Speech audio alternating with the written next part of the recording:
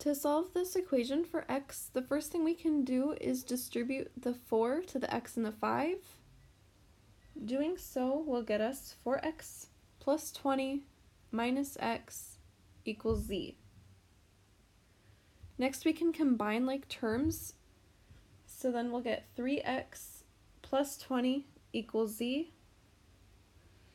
And we want x to be by itself, so let's subtract 20 from both sides, and then we'll get 3x equals z minus 20.